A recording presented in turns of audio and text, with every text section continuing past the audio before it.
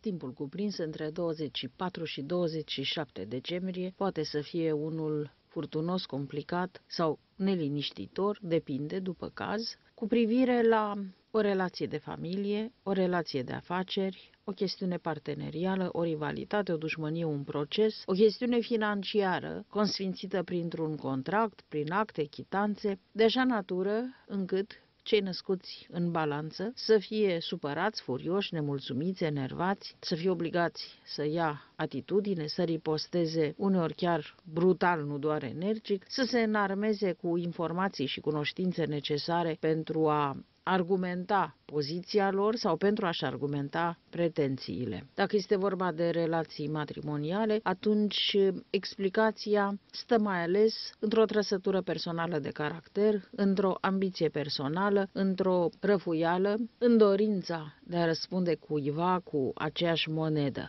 Este vorba de poziții diametral opuse și de o inflexibilitate sau chiar de imposibilitatea de a ține cont de circumstanțe, de situația reală, de un punct de vedere obiectiv, de nevoile celuilalt sau de un context întreg de argumente ale partenerului. Aici se poate spune că se desfășoară în bună regulă dialogul surzilor. Inutil de subliniat că în această perioadă, pe un astfel de context astral, niciun demers al celor din jur nu este sortit succesului. O tentativă de mediere, de împăcare, demersul unui avocat, unui consilier și cu atât mai puțin este bun acest răstimp pentru tot ceea ce presupune o desfășurare în instanță a unor interese. Chiar dacă în aceste zile nu se va desfășura nicio întâlnire în instanță, nu se vor depune acte, documente sau mărturii, totuși ceea ce se construiește în spatele acestui conflict în instanță este de natură să agraveze în principiu relația cu cealaltă parte implicată în proces, cu avocații și reprezentanția acelora, sau să creeze o impresie proastă care să greveze la un moment dat chiar asupra completului de judecată. Un alt element